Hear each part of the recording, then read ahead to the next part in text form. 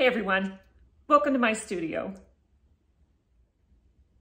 Today I am finally starting on a mosaic commission that's been in the works for quite a while. So I started a while back, I was contacted and met with the client and saw where they're going to be installed and uh, and then did the design work back and forth a little bit until finally the designs were approved and then I ordered materials and now I'm finally ready to start. So here it is on my workbench over there. Let me just show it to you.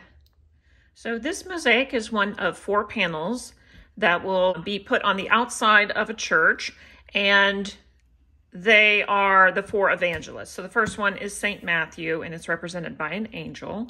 And then there's St. Mark, Luke, and John.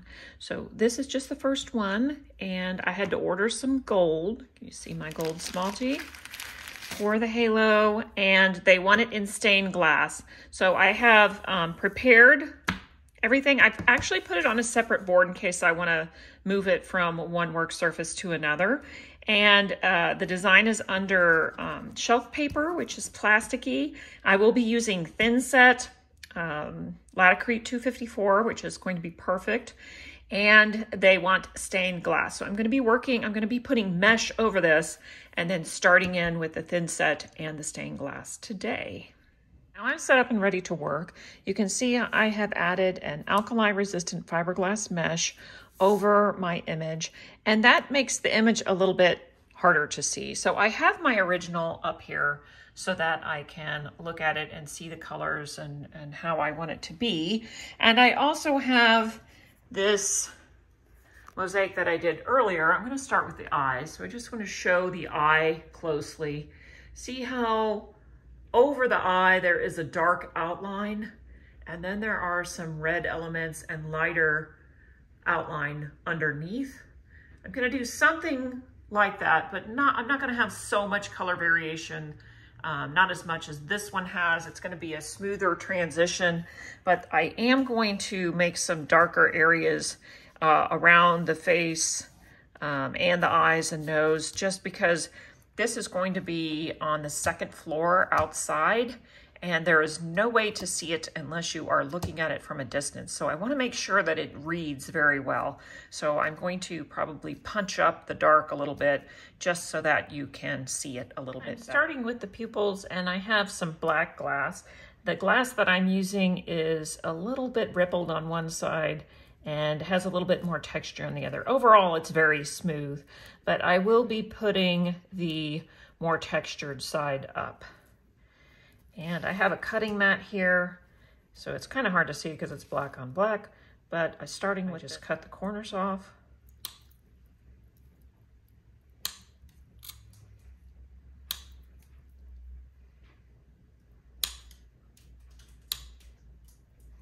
And then if it's a little bit too bumpy, I can nip those corners.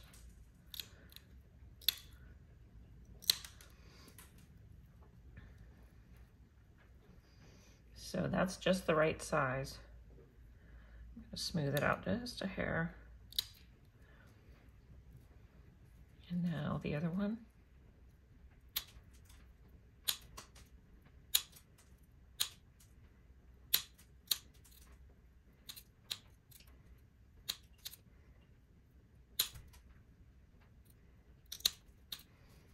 All right, I have the pupils cut out and they are pretty round and they are very even and that's important because you don't want to have that off from the beginning. The eyes are the most important part.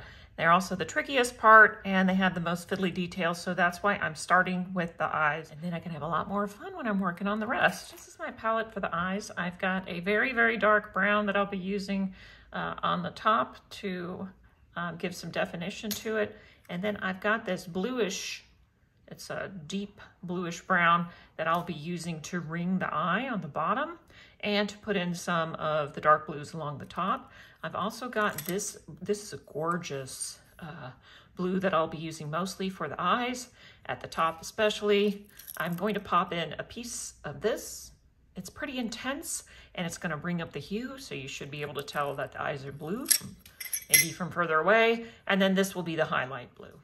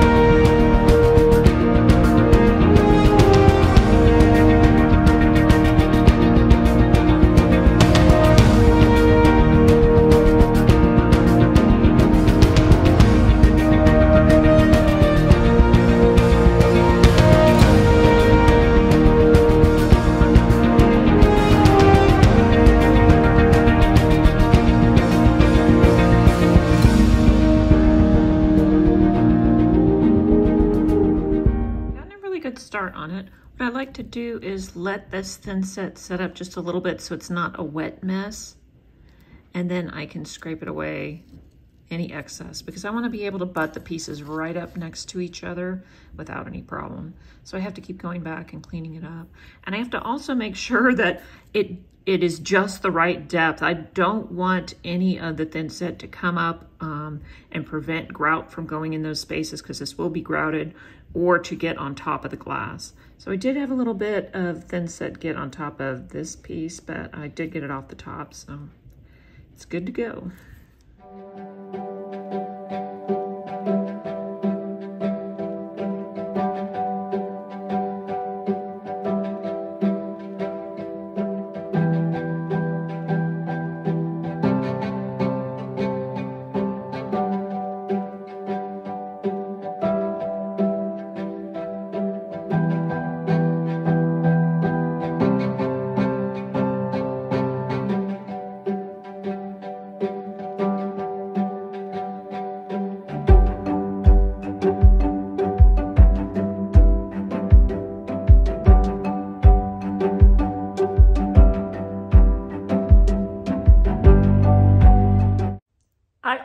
Have another commission that I'm going to start this week.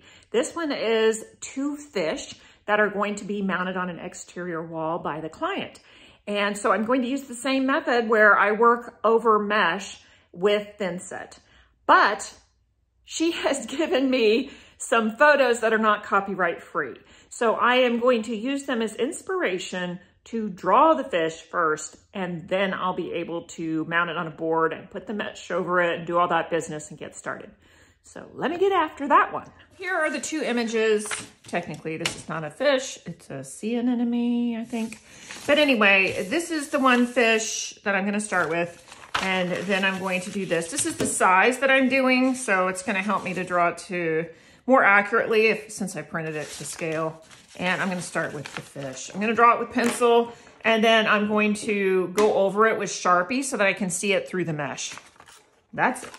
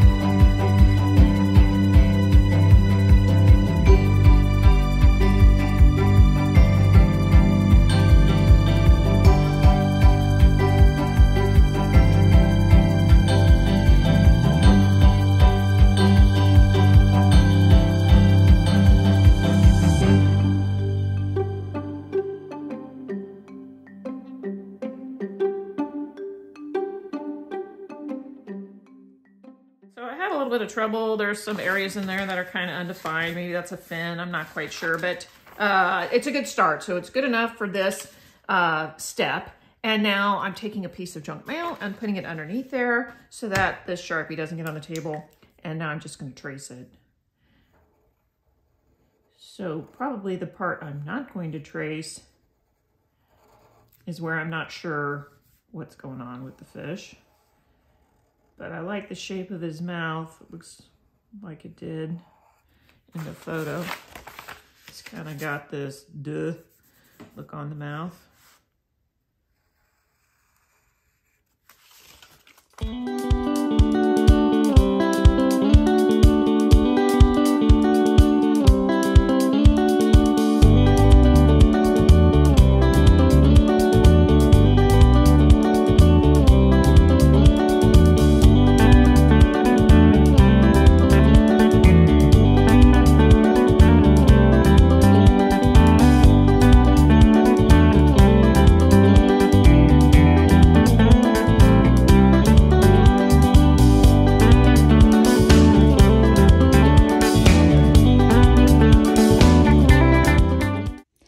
Found this old board in my garage and I'm going to put these next to each other so that I can work on them at the same time or one after the other.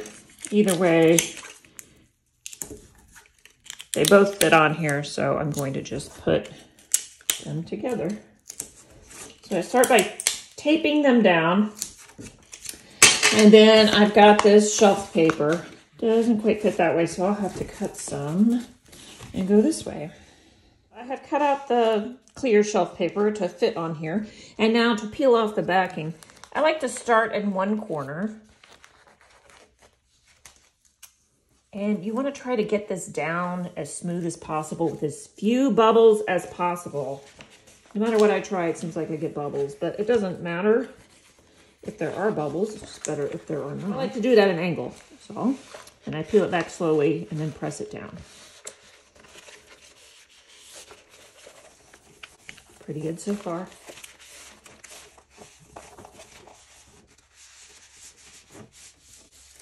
Oh, not bad. And now the mesh. Mesh comes on a roll, but I have this huge piece. Going to cut this out and tape this on top of there, like so.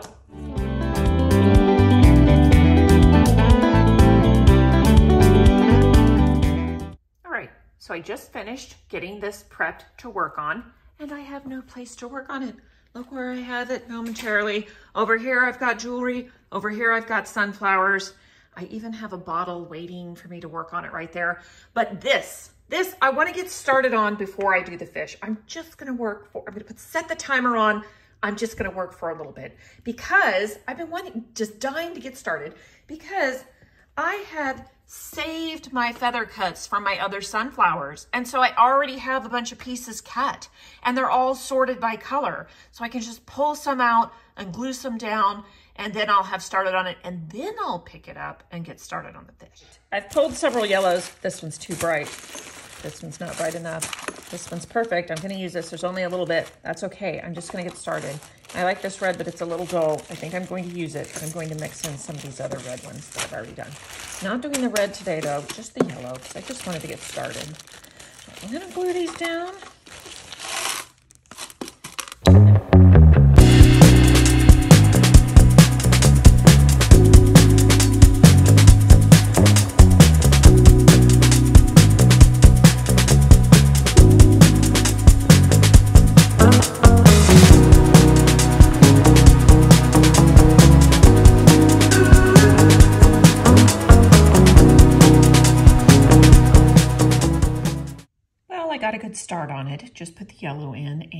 Need to go work on the other projects, so I'm gonna have to stop. But I didn't even use it all, I had a little bit left. So I'm gonna bag that back up and stick it in my bin for next time.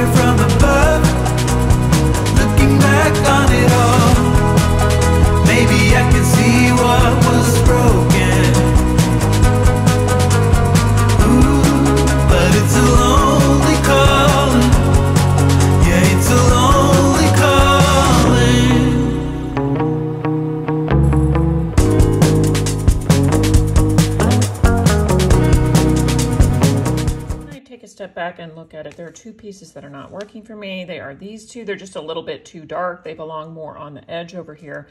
And that's the nice thing about working on the mesh. I can go ahead and pull them up before that uh, thin set sets up all the way and replace them with the correct glass. That's it.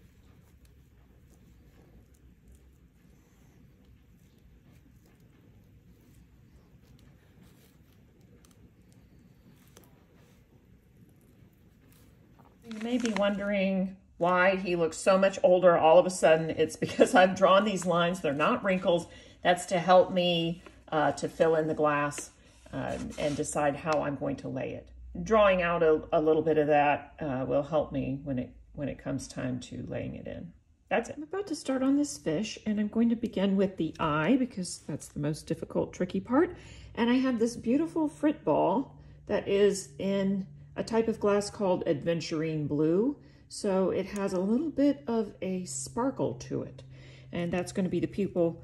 And then I will add a ring of blue and then a ring of yellow. And then I'll get started on the, the fish itself.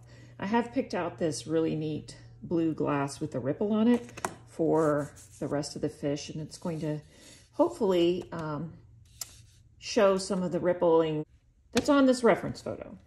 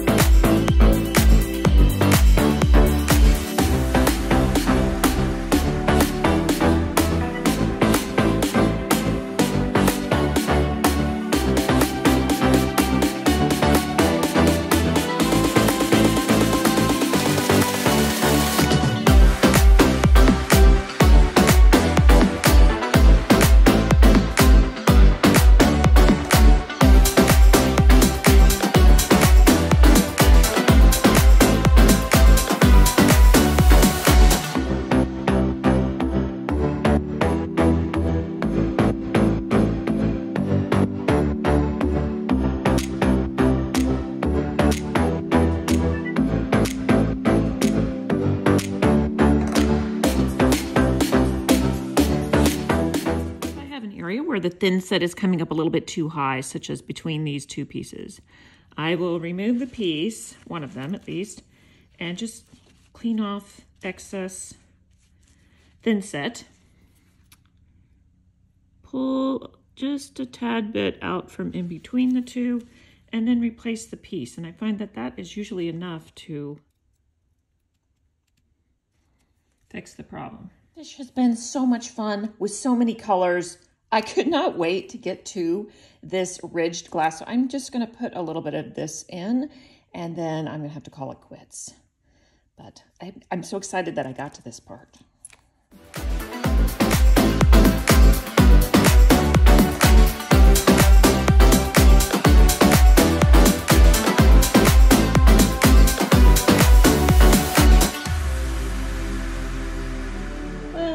As I can get on the fish this week, but boy, I can't wait to get after the rest of this ripple. See if I can show that texture on the glass. Um, I'll wait for this thin set to set up just a little bit and then I'll clean that up. But that's about it for this week. That's putting it together. Thanks for watching. See you next time.